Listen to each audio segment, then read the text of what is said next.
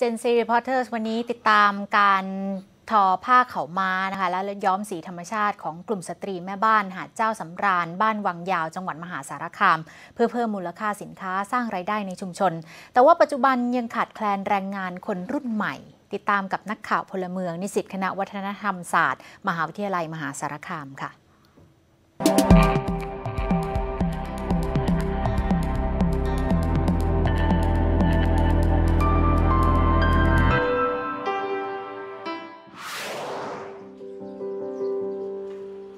ตรีแม่บ้านหาดเจ้าสำราญ บ้านวังยาว ตำบลเกิ้ง อำเภอเมืองจังหวัดมหาสารคาม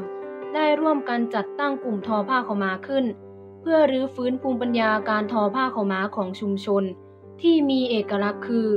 การย้อมผ้าด้วยสีธรรมชาติที่ได้จากพืช และการแปรรูปจากภูมิปัญญาของชาวบ้าน เน้นสีธรรมชาติ ใส่ใส่ตัวนี้เป็นเทรนของเฮาดีกว่าเป็นเอกลักษณ์ของเฮาดีกว่า มาเทศเป็นผ้าสบายหรือผ้าผ้าพันคอเทศเป็นผ้าคุ้มไหลผ้า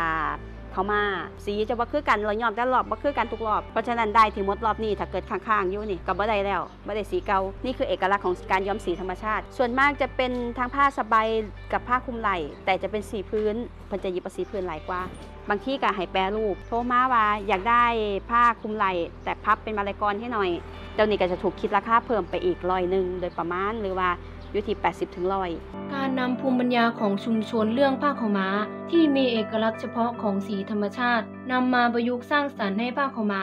สามารถนำไปใช้ประโยชน์ได้หลากหลายรูปแบบทำให้มีลูกค้าสนใจ และเข้ามาสั่งซื้อมากขึ้น ก็นิยมมาทำเป็นของต้อนรับนะคะของฝาก ถ้าซื้อของฝากก็จะอุดหนุนกลุ่มประจำค่ะเราได้ของที่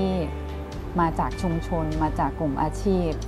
ทั้งส่งเสริมอาชีพ แล้วก็เป็นการขยายตลาดให้พี่ชอบเกือบทุกเฉดสีนะ เพราะว่า